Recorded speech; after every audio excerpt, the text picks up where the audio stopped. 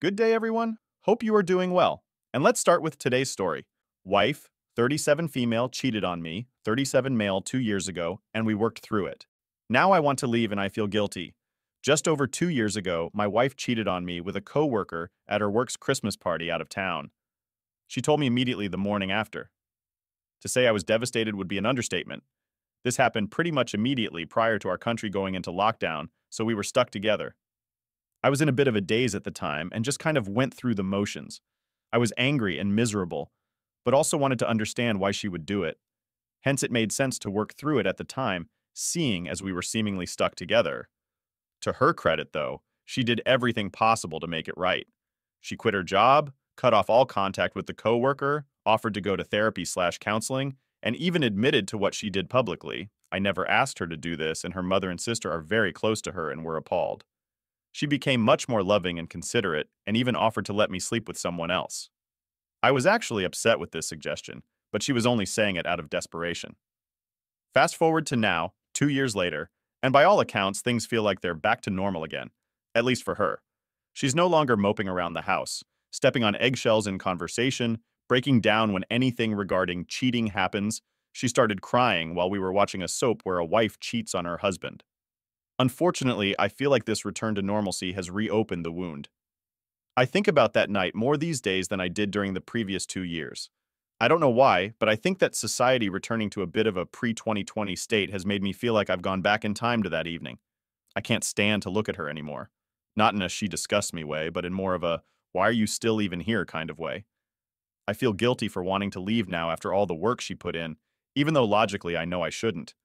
I feel like I'm the bad guy for wanting to end the marriage after the work she has put in. I know people will be able to easily say she made her bed, etc. But I'm still really struggling with the idea of leaving her for her sake. I don't hate her for it, but I don't think I love her anymore, and I know this will destroy her. Part of me wishes I was strong enough to have left when it happened. Anyone been in a similar situation or have any advice? Thanks in advance. And the edit. Thanks for all the responses. I feel I had already made up my mind about what I needed to do, but having people validate that I wouldn't be wrong for leaving has given me the push I need. I'll be talking to my wife later today. And now to the update. Thanks to everyone who commented on my previous post. I was surprised how much people cared about my benign marriage problems, but it helped me a lot. I checked this account out today to see what the responses were since last week, and was taken aback by the number of people who wanted an update. The day after I posted, I talked to my wife and laid out my feelings. I mentioned some of the points that people in my previous post had articulated very well that resonated with me. I told her, whilst I had forgiven her, I was struggling to forget what happened and the fact we were seemingly going back to normal had triggered something in me, and now I couldn't stop thinking about it. I said that whilst I do appreciate all the work she put in to try and save our marriage, I couldn't continue anymore. I mentioned a point that someone on my previous post said that whilst we were in lockdown, it almost felt easier to just ignore the issue to some degree, as I would always know where she was or what she was doing. But recently, for the first time since it happened, She's going into town and visiting friends, and my mind is just running at 100 miles per hour while she's out. Who is she with? Why is she slightly late home, etc.? And I haven't had to confront these feelings before. She cried. I cried. She begged me to stay. I cried again. We spent what felt like hours just sitting together in the living room, not speaking at points. She asked the same questions multiple times. Do I still love her? Will we ever see each other again? Is there anything we can try to make this work? I think eventually she was doing it to delay the inevitable. She's now staying at her mom's house, and I'm going to file for divorce. I know it's easy to lay all the blame at her feet when you're on the outside looking in, but I feel just as bad today as I did the day I found out what happened. I am heartbroken again, and know full well I'm going to question myself if I've made the right choice. You can tell me it is the right choice all you like. There's no way I will ever be sure this was the right choice. There are no winners with this crap. Everyone is miserable, everything sucks, and I'm here reliving the most painful experience of my life for the benefit of a bunch of internet strangers who probably only want to read about the drama and have no reason to care about me personally. I don't mean to come across as bitter. I had lots of genuinely supportive comments on my previous post. I'm just really struggling right now. I won't be using this account or responding here again after this post. Thanks to everyone who commented on my previous post. TLDR. Wife cheated two years ago, Originally worked through it, but now I've decided to end the marriage. Everybody loses. I'm glad, OP, that you chose yourself and your happiness. She might be remorseful and regret her actions, but she can't undo them. Once trust is broken, it's impossible to rebuild. And now to the second story titled, How I Moved On from My Ex. I was asked to post my story by a friend. He said it would give people suffering through infidelity hope. I met my ex, Kara, in early 1994. We clicked fast. We introduced each other to our families and friends within a month. Everyone got along great. At this point, life was perfect. One year after we met, I asked Kara to marry me. She accepted, and we started planning our wedding. We decided on a date in August 96. I was walking on air. Kara moved in with me in early March 96. She wanted to find a job quickly and contribute to the household. I wanted her to wait until after the wedding. I made more than enough to easily support us both, but she was adamant. This is when things started to fall apart. She went to work for a design firm in late March. Within a month, she started working. She became distant, showed little affection, and started talking endlessly about her project manager. I should have seen the red flags, but nope. Discovery Day was June 12, 1996. I came home from work early, and yep, found Kara and her project manager Tim in our bed. They both panicked. Tim grabbed his clothes and left. Kara sat on the bed getting dressed and told me we were through. Her reason, he can help my career, you can't. Two weeks later, Kara's best friend Teri called. She hadn't spoken with Kara in a while and wanted to chat. I told her what happened. She thought I was making a joke and started laughing. When I was silent, Teri realized I was serious. Kara had been kind enough to give me her new address and phone number if I ever wanted to chat or visit, like that was going to happen. I gave Teri her address and number. Teri came to my house about two hours later. She is normally very upbeat and smiling. This time she looked like she wanted to murder someone. She came in and gave me a hug. She cut loose with a massive outburst about Kara and how she was a lying witch and that she was done with her. Kara had told Teri that I was physically and emotionally abusive what a pile of crap. Teri and I started hanging out together. We never really talked a lot before. Turns out we both absolutely love British history and Italian food. Teri went back to school to finish her thesis in the fall of 96. We called each at least once a week, and we also visited each other a few times. In early November, I called and asked if I could visit her on the 9th. She was about to start doing some hard research, and I knew her time was going to be needed for her project. I went to her apartment, when I got there, she asked me if I was calling and visiting her because I wanted to talk to someone, or was it because I liked time with her? This made me chuckle. I told her that my friends live within a mile of me.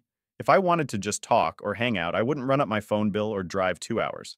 I liked being with her. She smiled and we went out for dinner and a movie. When we went back to her place, she turned and kissed me. I was stunned but quickly recovered and kissed her back. Our first date, first kiss, and the first time we slept in the same bed. The other first happened the next day when I left to get breakfast for us and came back to her apartment with an engagement ring. We were married on May 9th, 1998. A few months after we were married, my sister called and said that Kara wanted to talk to me. She gave my sister her number.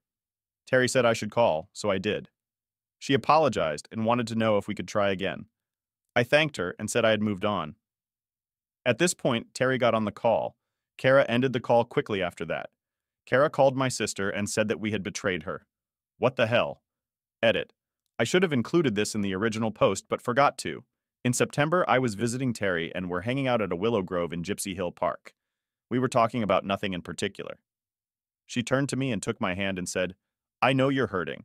I know you're trying to hide it. I want you to know that when you are ready to try again, I will never let go of your hand. I broke at that point. Every emotion that I had been holding back came pouring out. That was when I started to see her as more than a friend. It would be another two months before we became a couple. I believe that that walk was our turning point. And let's take a look at the comments. Someone said to OP, There is nothing better than getting a revenge on your cheating ex by marrying their best friend and living happily. OP replied with, It wasn't planned to be revenge, but I see how it looks like. If Kara had been faithful, Teri and I never would have become a couple. I'm very happy she wasn't. Teri has been the best partner I could ask for. Another user asked, Did Tim help Kara's career? Or did he pump and dump? Please tell me it was the latter. It would make an excellent story. OP replied with, They didn't last, big shocker. Last I heard, she's on her third marriage and it's not going well. This was a while ago. Great story indeed. The ex tried to monkey branch but ended up getting tossed aside. And the third story? Am I the a-hole for wanting to reveal my affair partner's cheating to her husband? I've been involved in an affair. Actually, my girlfriend partner has been having an affair with me for the last four months. I won't go into detail, but I feel horrible and disgusted. I've always hated cheating, and I never want anything good to come to cheaters. But now I've gotten mixed up in it, and it's eating me alive. So four months ago, I met this woman, she is 29, at my gym, and we pretty much connected instantly. Over the course of four months, we became a couple, went on many dates, and had sex plenty of times. I was a virgin before I met her, I never had a girlfriend or sex, and I really felt that life finally kicked in for me and that things would get better. I'm 24, and before I met her, I always felt like a reject and a weirdo because of my lack of success in dating and relationships. The other day, by chance, I found out she has a husband, and I wanted to bury myself on the spot. I felt so bad I can't put it into words. She wanted to have sex after we had a date, but I lied and told her that I couldn't do it that day because I had something planned. I came home and I was ashamed of myself. I managed to find her husband on social media, and I've been going back and forth on wanting and how to reveal everything. I saved all our chats, pictures, and I even have some receipts from our dinners. I talked to my mom about it, and she told me that since I managed to find him and since I have evidence, I should inform him. My mom told me that he deserves to know, and if it were up to her, she would have revealed everything. But she told me that it's my decision to make. I feel like this woman played both me and her husband, and now I hate myself. In the comments, someone asked OP, I am curious you said you accidentally found out, but how did you find out? You said that you found out by chance and she wanted to have sex after your date. Did she just drop it on you on your date? OP replied with, No, she got a call and it said hubby with a heart emoji. Two of them were in the picture. And the update, short and straight to the point. I used a fake and anonymous account to send him details and some pictures. I also told him that I have more evidence that I would like to share. He didn't respond until yesterday, where he said that he wants to know more. Today, I sent him everything and explained everything in detail. Turns out he already suspected her of cheating. He just didn't have any proof. He wasn't angry or sad. He was just disappointed a lot. He also thought I would be older. He said that he doesn't blame me. It wasn't my fault. He told me that he owes me big time because he wanted to hire somebody to find out if she was actually cheating. So I actually saved him both time and money. After I explained everything, he was mostly relieved and thanked me for helping him, and asked if there is something he could do to repay me. I said that he should help somebody else, and that will make us even.